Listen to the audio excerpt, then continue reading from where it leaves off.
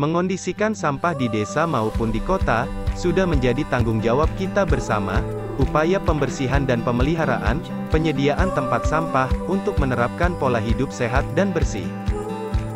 Halo sobat, kali ini saya mau buat tempat bakar sampah. Sebelum kita lanjut mari kita dukung channel ini dengan cara subscribe, dan subscribe itu gratis, agar video yang kita tonton ini bermanfaat buat kita semua.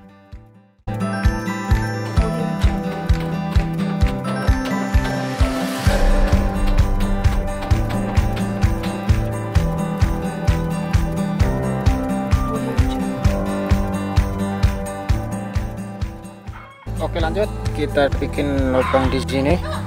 Ukuran 25 ke sininya 18 cm 25 18 cm terus ke panjang